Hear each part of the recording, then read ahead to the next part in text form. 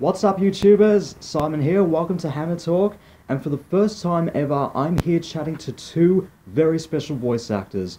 One who's played a ninja, an evil genius, and has been part of the comic book world, and the other who's played across many types of animation, playing many characters, including Betty Boop and in the Sailor Moon universe, as well as being founders for the Love Planet Foundation and H2om Water with Intention. Please welcome Lex Lang and Sandy Fox. Guys, how are you?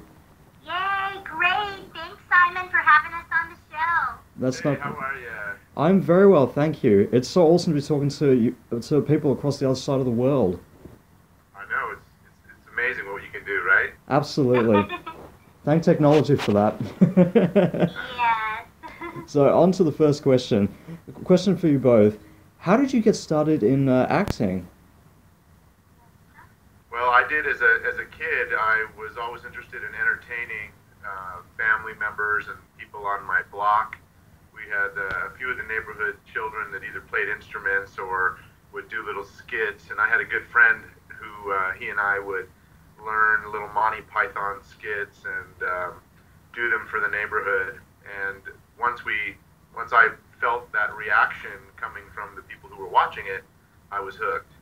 And then I got into acting in, in the, kind of in the end of grade school here is about uh, seventh, eighth grade, and then throughout high school and college, I was a stage actor, and I, I went on to do stand-up comedy and on camera, and from there I uh, got into voiceover.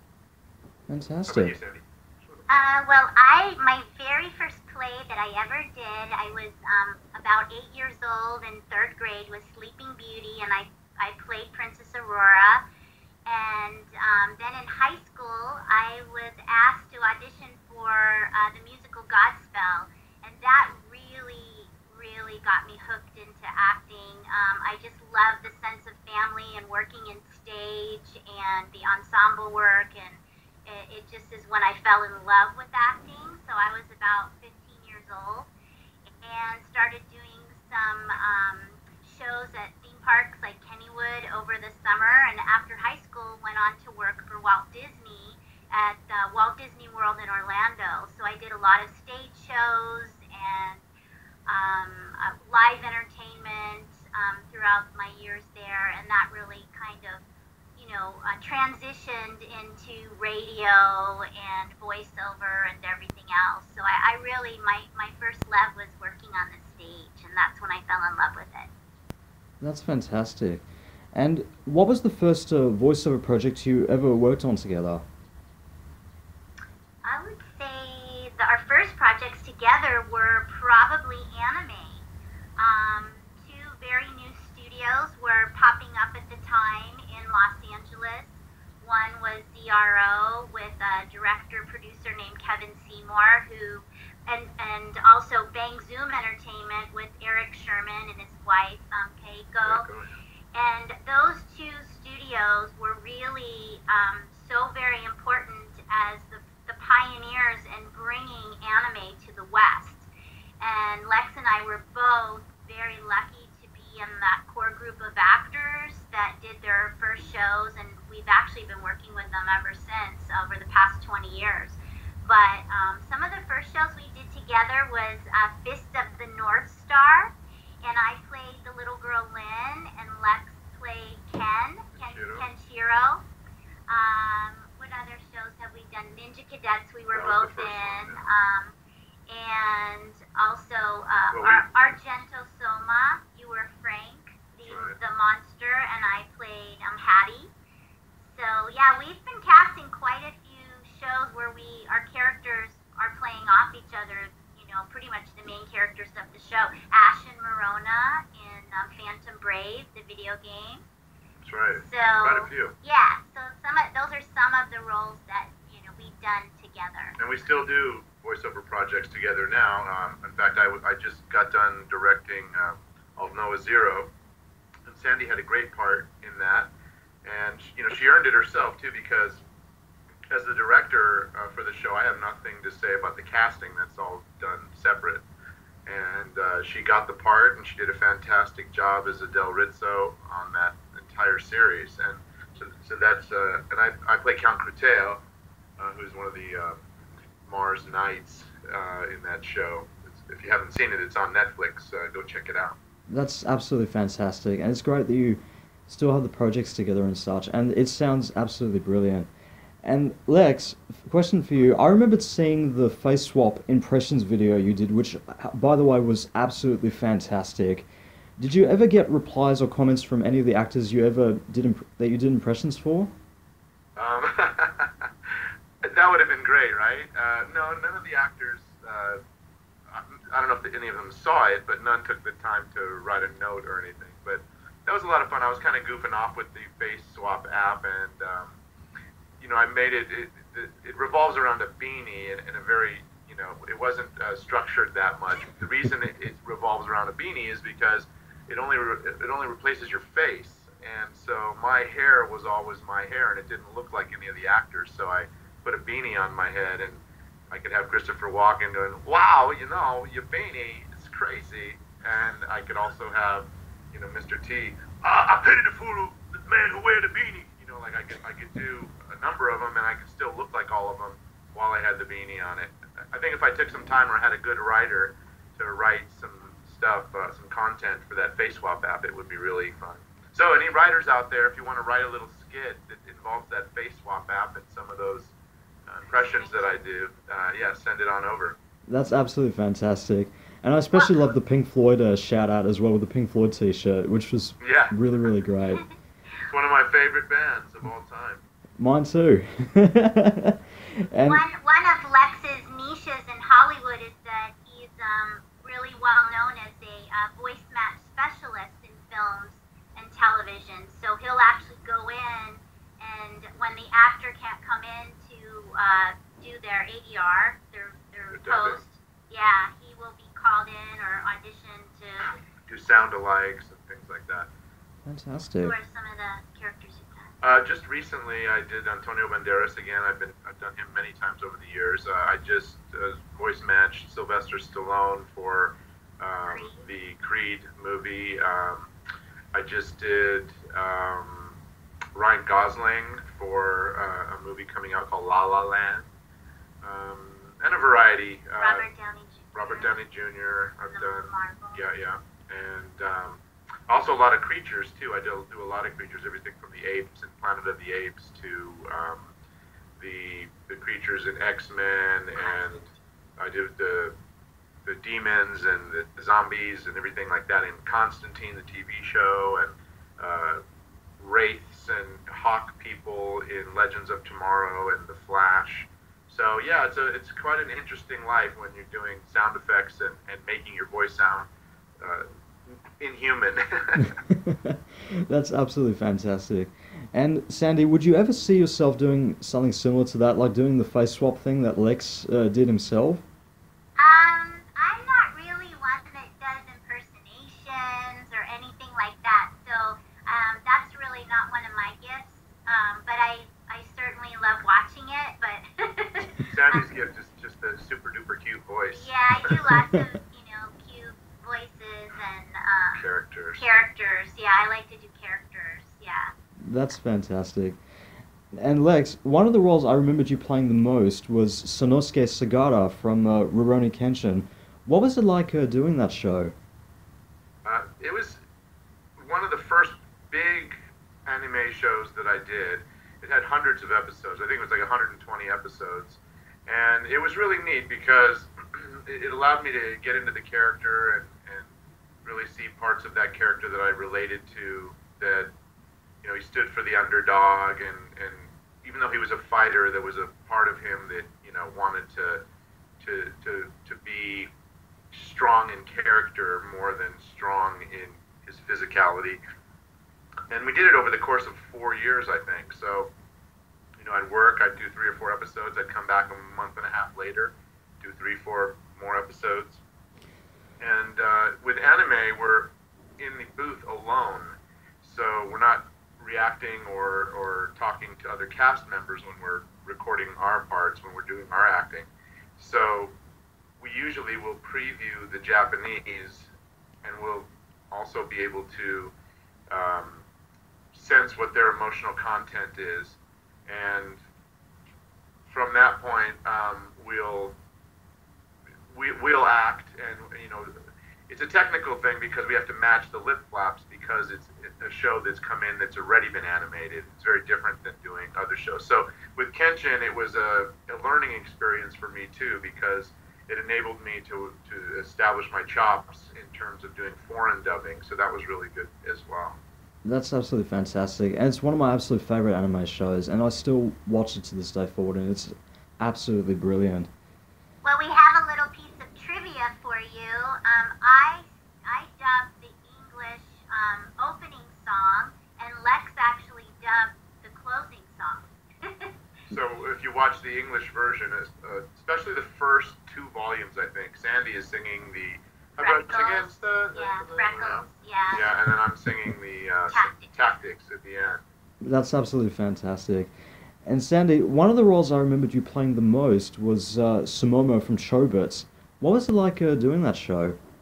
That was one of my favorite roles, and it was such a fun show. That was actually a show that Eric Sherman, the founder of um, Bang Zoom Entertainment, was directing at the time, and it was just so much fun. Yeah, I really loved Sumomo. She was fun and light, and that show was just kind of silly, crazy but um, I really enjoyed doing that show, and I still to this day, uh, it's probably been what 15 years later.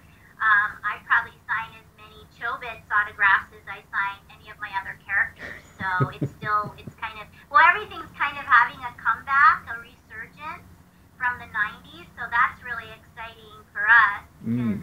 we were in so many of those shows before anime was really big, and now they're replaying them or you know uh, putting them back up online. So so yeah, so Momo's one of my favorite characters, and it, and, it, and my characters do have a common theme. They're all a lot of my characters. I'd have to say most of my characters have pink hair, and they're pink and cute and lovable. So that's kind of fun for me. That's fantastic. And yeah, Chobits was definitely a really great series. I actually always thought of it as like uh, um, the Robin Williams movie Bicentennial Man, an anime version of that movie. Uh, Bi- Bicentennial Man. Yeah, it's a Who Robin. Who was in that? Who it, was in that? Uh, Robin. Uh, Robin Williams. It was one of. Oh, Rob- Robin Williams. I've always thought of it as like a version of that somehow. and uh, you also voiced alongside uh, Crispin Freeman and Michelle Ruff in Chobits, but you also voiced alongside those same two actors in other shows as well, like uh, Ghost in the Shell, for example. Yes, uh-huh. Ghost in the Shell. That was so much fun. That was another um, project in the early 90s, one of the first projects that came out of um, the ZRO studios. And um, I was a Tachikoma. A lot, there were a lot of us uh, women, female voice actors that were Tachikomas. And I recently uh, recorded the voice of the Tachikoma in the new Ghost in the Shell First Assault game. So that was really exciting. And um, uh, and Crispin, I've worked with Crispin on several projects, but Michelle mostly. Michelle and I are kind of playing opposite characters in the new Durarara. Uh, I don't know if you've seen that yet, um, but uh, our characters interact a lot in that show. And there was a show um, quite a while ago, and it's kind of out of print, I believe, but it's called Risky Safety. And I played Risky, kind of like the little devil on your shoulder, and um, Michelle Ruff played um, Safety, the little angel. So that that whole show, we were uh, we worked together. But but like Lex said, you don't really work together because you're by yourself in the booth, but you're actually in this cast of know of characters but we don't really get to see each other or perform together, perform off of each other. And and Crispin and Michelle are, are just you know two of say a hundred really talented people that make the bed of actors that do anime and other animated stuff here in Los Angeles. Maybe even 200 actors, um, and so we see them a lot, and we're in we, we, we share like a community with each other but when we're doing anime, like Sandy said, we we rarely are doing it at the same time. We usually are exchanging hugs in the hall as we pass each other, catching up for 30 seconds, you know, um, whenever we bump into each other. But but they've been doing it for years and years and years. So you know, we probably that group of 200 people probably have you know 50 overlapping shows that they've all been in. Yeah, that's fantastic. And but uh, you but obviously you also catch up with like a lot of the guests uh, usually at conventions sometimes depending Yeah. on who's there. So yeah, we do that. that. That's when we really get to spend some time together. If we are lucky enough to do conventions together. Conventions, panels, uh, rap parties. We get to see each other at a rap party once in a while. that's Yeah. fantastic. And now Lex, one of your most famous roles to date is Dr. Cortex from Crash Bandicoot. What was it like uh, playing the character? Oh yes, Doctor Cortex. Um, Uh, that was a lot of fun. Uh, you know, there were a couple of Cortexes before me that didn't have quite a lot of dialogue, but uh, the last one before me was Clancy Brown, and uh, when I auditioned for it, I auditioned as a voice match to Clancy's Cortex. That's the first thing they wanted is, you know, uh, the gems are mine. You know, like really uh, kind of a match. And, and then when I got to the studio, they said, you know, they wanted to bring some light to the character. Uh, it was getting reviews as just a little too serious, a little too mean. And so we said, let's keep him mean, but let's make him uh, mega maniacal, uh, so that he had he was a narcissist who was also very flamboyant, and so we made him a lot lighter in terms of. Uh, oh yes, he's doing a lot of this now. You know, like he's got a lot of kind of uh, fun that happens as part of his character. That's absolutely fantastic. And did you ever get the chance to like um, interact with the previous voice actors of uh, of Cortex or receive any compliments from uh, at any point when you were playing the character? I would, uh, yeah. When I started, uh, Clancy Brown had just finished, and were on a Justice League Unlimited together, and uh, I told him that I had gotten Cortex, and he had left it, so he, it wasn't like he was, you know, uh, still wanting to do it. He had he had chosen to not do it anymore, and uh, he wished me luck, and he, uh, you know, he he's a very friendly guy, so we became friends on on that job, and. Uh, he knew that he was inspiration for me on that. That's So yeah, he's, he's pretty nice. That's absolutely fantastic. And speaking about, of course, with video games, a huge congratulations on E3, which was last week. And you've made some really big announcements uh, at the convention.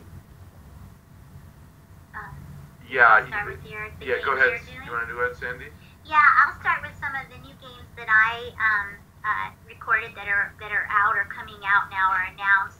One is um, I play a character Aisha in El Sword, and um, so that's that's a new game. Also, um, I recorded the latest um, Peashy and Yellowheart in the latest Neptunia game, the, the newest uh, Hyperdimension Neptunia. And then uh, also there's a new game. Um, you've probably seen it. Uh, Brave, um, Bravely's second end layer, and I mean I mean Net Capnati, the little cat.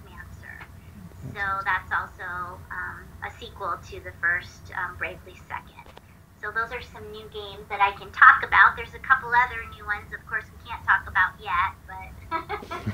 Yeah, I thought I was going to have more to be able to say after E3, but um, they just made some preliminary announcements that didn't include the characters I wanted to announce about. But um, so um, yeah, I've been doing a lot of games, and it's good. You know, Titanfall 2 is coming out. I'm able to say that. Um, I am. I'm going to re- reprise my role as Spyglass in that. And I, I'm playing a couple other characters that I can't say, but I, I got to play two other characters.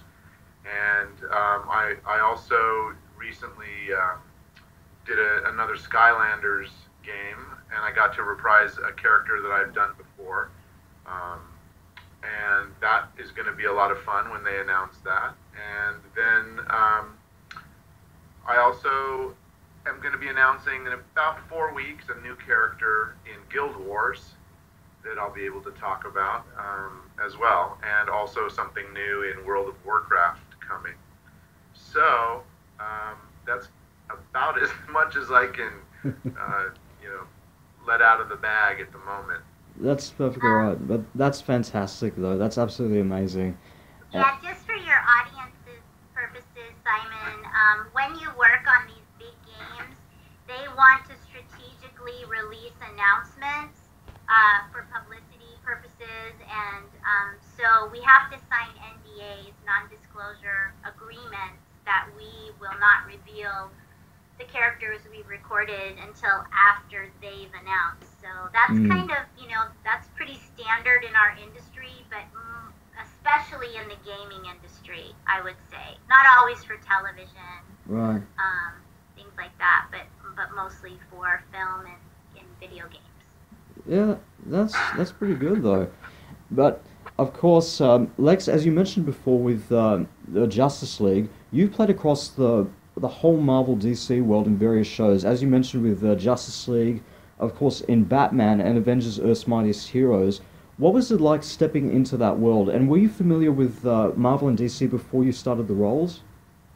I was familiar with, but not deep into. I mean, of course, everybody loves Batman and loves superheroes. And, you know, throughout my life, I've seen all the movies and, and TV shows, and and the Batman, the animated series, was one of my favorites uh, as a young adult. I would watch that a lot, and uh, so I was really hooked to that Warner Brothers style of, of animation.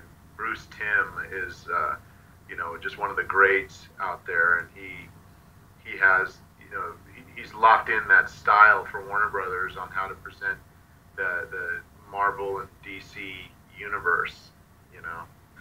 Uh, so for me, stepping into that world was kind of like you know half half excitement because of the acting role that I get to play, but the other half is exciting just to be in the same room as all these other people. You know, Kevin Conroy sitting there playing Batman. Uh, you know, um, Clancy Brown as Lex Luthor in the room. Uh, Ed Asner playing, uh, uh, uh, you know, big characters and Brooke Shields and other people sitting in the room. So it's really like you pinch yourself. And, and for me personally, I just sat there and was feeling blessed and really grateful for, the opportunity to, to be an actor among these other actors that I admired. That's absolutely fantastic. S- Sandy, would you ever see yourself playing uh, in the Marvel DC world? And if so, which character would you see yourself playing? Well, I was looking at that question, and I, I don't know if um uh, if I saw myself actually in the Marvel world, but I will tell you some of the abilities that I love of some of my favorite characters. Of course, I you know I am very intuitive, and so I love the psychic um, telekinetic abilities of Jean Grey. And then I also like Black Cat. She used to be a cheerleader. so I thought that was kind of cool. And then she took martial arts and she took all those abilities. And, um, and also Black Widow's just beautiful. So I love those characters. Um, but I, I'm really not sure how I would fit into the Marvel universe. Maybe an avatar of one of those or something. I can Wonder definitely see that. Wonder Woman. That's true. I multitask quite a bit. Maybe Power Girl might be. Yeah, maybe. That's maybe fantastic. One, I, I did. I grew up. One of the characters I loved growing up was Wonder Woman. When uh, watching, um, oh my, Lynda Lynda Carter. Carter. Yeah, that was one of my childhood shows, and I did love watching Wonder Woman. And I do She multitask be like quite one, a bit. Wonder Teen, you know. No. Susan Eisenberg, right? She does. the- she does Yes. the voice of Wonder Woman. She has a fantastic Wonder Woman yeah, voice. she's She's great. great. yeah, I, I can definitely picture like a, a Justice League avatar, a small avatar series at some point. That would be really cool. That That's would be- something, something they would call on, you know, their avatar. That would de- that would definitely be fantastic indeed. And but Sandy, one of your most famous roles to date is Betty Boop. What has it been like playing one of the most famous cartoon characters of all time? Well, I'll tell you, it really is an honor, and I'm very humbled for all the years, and I'm still currently voicing uh, Betty Boop for projects. But um, I I started, you know, how I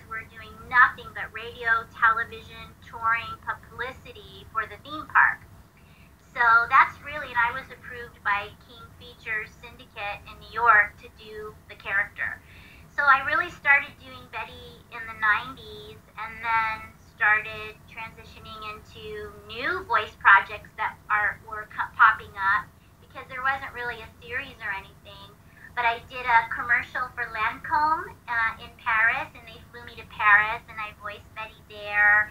Um, I've done some other projects for King Syndicate. I just finished recording five of the new Betty Boop singing plush toys, and they're so cute and so beautiful and well made. And they have like a 60 second song with each toy. And Lex and I actually uh, wrote a couple of the songs so that was really exciting. So those are those. Uh, I think three of the five are available now online at chantilly.lane.com, um, and uh, or you can find them on Amazon as well. But yeah, and I I just recorded a couple other television Betty Boop uh, projects that I can't talk about yet, but you'll see them in 2017. So it's very exciting, and I'm completely honored and humbled to be able to voice her because she is the queen of cartoons and she's the very first talking cartoon. And I'm so glad she's making a comeback. That's absolutely fantastic. And it's great to see that you you're carrying on the legacy of like one of the most famous cartoon characters of all time. And oh, absolutely, mm, yeah. That's really great to hear. Now, out of out of all the roles that you both have done, out of all the roles that you both have done in terms of your careers as, vo- as voice actors, what has been the one role that has resonated with you the most and you feel like you could relate to as as people? That's hard to that's hard to choose one. There's been so many that have different characteristics that are, you know, admirable. Um, geez, you know, I, I have to think about that one uh, for another second. um, I can talk about a yeah, couple. Yeah. Um, I really resonate. I am resonating with Chibiusa and Sailor Moon's her her journey. Um, I, I often refer in my panels to Sailor Moon as like um, one of the Star Wars of anime because I really think that the archetypal characters and the journey of, of Usagi and in the story is so amazing. But um, I really resonated. Um, a lot of my childhood, I was kind of thrown into situations on my own, and um, because you know my parents weren't always available, and um, you know I, I I do get cast in a lot of roles where the kids are like orphans, or perhaps they are kind of thrown into situations where they have to be an adult even though they're a child. So I real I really do find in certain scripts you'll see things and go, wow, I can relate to that. I've lived that. I know what that feels like. And um, and there's no coincidence that we get cast in some of these roles and we're able to bring some part of our real life experience to that character. Sure. So I would say that for my characters. What about you? Yeah, um, it's a little different for me because often, because I have a low voice and uh, I play a variety of different kinds of characters, I'm playing characters that are like really evil. So for me, it's it's not so much that I relate to the evil; it's more that I get to, you know, become this character that I, that I personally am not, uh, or or that, you know, I personally have deep inside that I access for the character and for nothing else, you know. And and the same goes for very friendly characters as well. Like for I played the doorman and his dog Hundley on a show called Curious George. It's a children's show, and you know that's just like the sweetest, friendliest guy who's just concerned with keeping his lobby clean and and taking care of his dog, and, and he loves George. He's just the friendliest guy, and he talks like this. Isn't that right, George? Let's keep that lobby clean. You know, it's you know real fun to play those kinds of characters, and you know I can relate to the feeling you get inside when you're dealing with children and the innocence in their eyes and, and the you know untainted view of the world and how they're just they have that wonder still alive you know. And so those are motivations for it as well. That's And uh, absolutely let's mention the evil characters. You know, in Sailor Moon, um, there's a transition of Chibiusa into into Black Lady, and um, I usually don't get cast into those evil kind of dark characters, but it's really interesting because how she she kind of gets uh, hypnotized um, by Wiseman and, and and just told that everything's uh, you know her fault and that know they were working against her. It's like it's almost like she's overcome by her own dark negative thoughts, and so it's really interesting how that that can happen to all of us, you know. And I really related to you know how how that has sometimes affected my own life, you know, just believing you know the negativity or you know buying into some of those negative thoughts and how that can how that can and darken you. So it was it was really interesting. It's a very interesting show.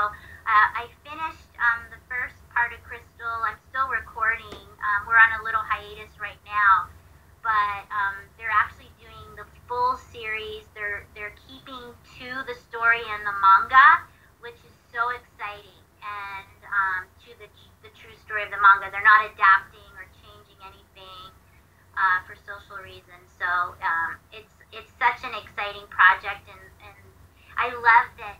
Uh, you know, the majority of the show is women. Even all the evil characters are women.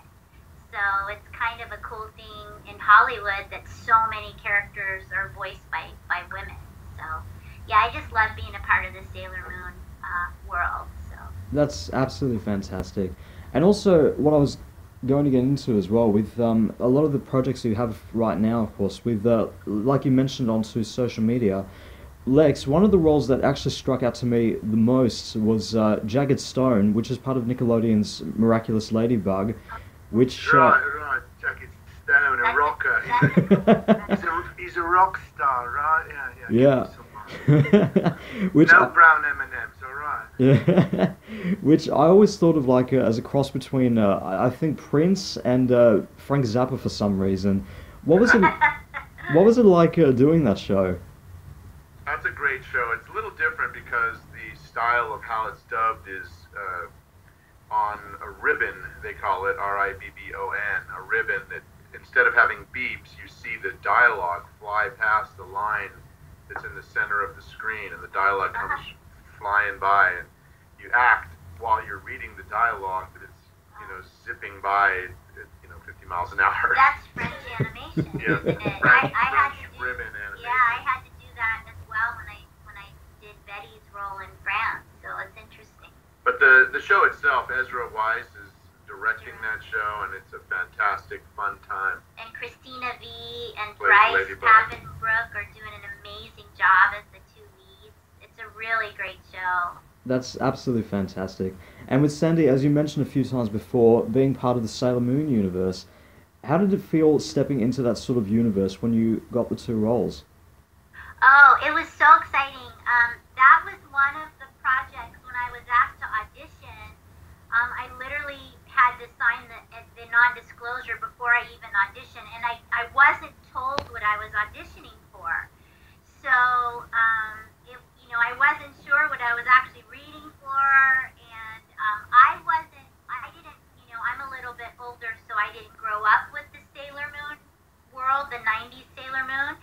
But um, when I auditioned for it, and after I found out the show that I got, I was so excited. And then when I think I really felt the power of Sailor Moon and the impact of that around the world when I first started recording, and then seeing that first year when um, I was introduced at Anime Expo on Sailor Moon Day, um, just the impact and how the show has reached so many people and united so many different kinds of social circles and age groups and ev- you know races everything. It's just such a universal um, you know project. It just reaches the hearts of so many people. So I, i'm still eh, like betty boop very humbled to be playing chibiusa um, i'm kind of just diving into the story as we go and I, I want to as an actor i don't want to like study sailor moon the series i want to experience it and voice it as i'm going along so it's much more organic experience for me That's so absolutely yes fantastic. very exciting very Yeah. exciting That's absolutely fantastic. yeah And very as- fun and aside from uh, from acting, as you mentioned uh, a few times, of course, you're also musicians as well. Where Lex, you've played in various bands over the years, such as your own band called Lex Lang and the Velvet Box, and you've sung in uh, several animes you mentioned with uh, the Rurouni Kenshin series, and also have an acoustic duo with uh, Sandy called Butterfly. You are you both uh, still involved in uh, music? Yeah, we are. Um, like Sandy mentioned, we wrote a couple of the songs for uh, these Betty Boop uh, pl- plush dolls that came out. I'm also in a recording project that's been ongoing for a couple years now. Uh, that is called Otis Nine, O T I S number nine, and it's otis9.com, and it's basically all the Flo- all the Pink Floyd. Um, influences over my life, uh, if they all spilled out in one instrumental band project, that this would be it. Uh, so it's it's instrumental and it's uh, very very Floydian. We we have a Twitter that's called following at following Floyd, and um, I think people who like Pink Floyd will really like it, and hopefully we'll have some releases uh, at the beginning of 2017. That's fantastic. That's and absolutely. some of this, I, I also recorded the music for Magic Knight Rayearth in the 90s, and I'm always suggesting to producers because um, there's so many more and more new uh, voice actors and actresses coming up, but that you know I'd love to see more anime uh, theme songs dubbed because I think um, that's something that they kind of skip over, and I think it'd be cool to have an option on the DVD or on the series to have like anime songs dubbed. But yeah, we write music projects come up and we'll be asked to write a kid's song or a theme song and uh, we still we still are very much involved in music. That's absolutely fantastic, and that's really great to hear. And you're also founders for the uh, Love Planet Foundation and H2om Water with Intention. What inspired you guys to start these projects? Well, I'll start with the uh, the Love Planet Foundation. Uh, I believe the Love Planet Foundation started back in 2001, and this was um, before the whole the whole green marketing kind of movement. And I've always, I personally have always been very, very involved in uh, uh, environmental activism. Um, sometimes if you check out my Twitter, you might see, or my Facebook, you'll see how passionate I am about um, policies that protect our planet and our water and clean there and what we're going to be leaving our next generation. And I really feel that the key to change is education and awareness. So in 2001, we started the Love Planet Foundation because we figured we're in media. We have access to, you know, be able to produce film, television, live events, or go in even as the voice actors that we are to go into schools and talk to kids about the environment. And that's basically what that is. Um, Lex and I have gone in and talked about um, know, done special talks water on water and world water awareness because our planet is 75% water. So um, it's, it's a really important um, aspect of our of our talk. But it's really being able to create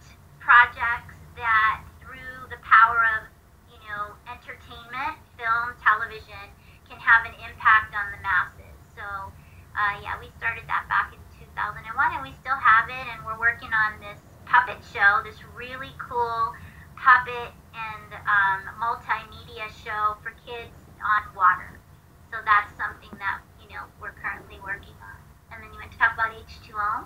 Yeah, and the, the, uh, the other company is called H2om. Ah.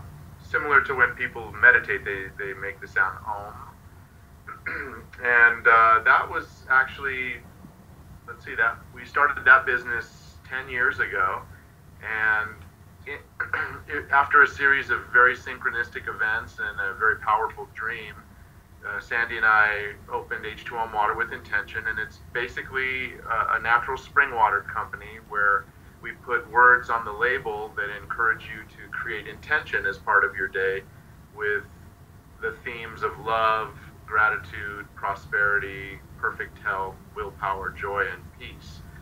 So we, our slogan is "Think it while you drink it." So if you're having one of the uh, intentions like the peace intention, you just set your mind on peace and let it inspire you to take peaceful actions throughout your day or whatever. You know, you, it's different for everybody. It's very subjective, but it's a it's a nice place to be reminded of those values and and um, you know really have really good natural spring water at the same time.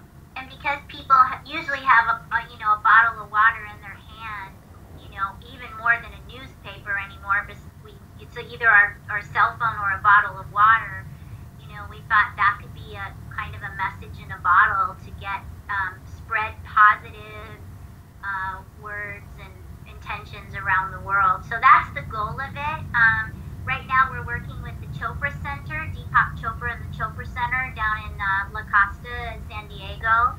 And we've also been uh, studying meditation, yoga, Ayurvedic lifestyle, perfect health. And so Lex and I became certified meditation teachers.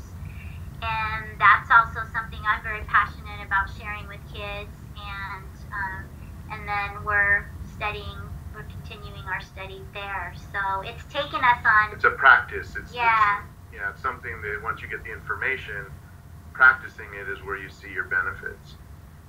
That's absolutely inspirational, and that's fantastic.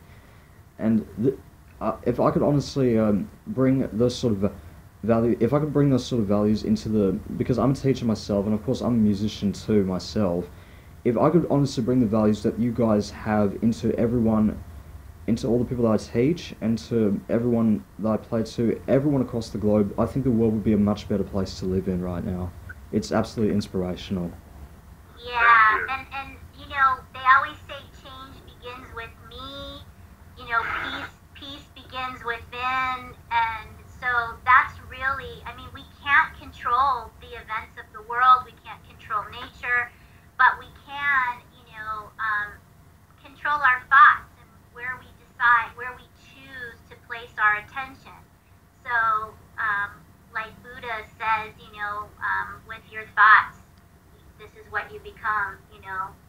It, so it's very, be mindful. So it's really a, a practice of mindfulness. It's an ancient practice, you know, thousands and thousands of years. So um, I think it's great that it's coming back into our mainstream consciousness now. It's returning, and more and more people are, are open to it. It's not religious or it's you know it's basically a, a practice for holistic living um, and balancing our lives. So that's what's really exciting about it for me. That's absolutely fantastic. And on to the uh, last question. What do you think that Dr. Cortex and Betty Boop would say if they saw kangaroos? Dr. Cortex, he'd probably say, um, say what was Cortex? oh no, not another menacing marsupial. Don't tell me your name's Joey. Or is it Boomer? No, I've guessed it, Roo. I've got a pair of shoes named after you. But they're a bit bodgy. You're really the Easter Bunny, aren't you? Oh, gee, I'm not the Easter Bunny. I'm Betty Roo. Boop boopy boing, boing, boing.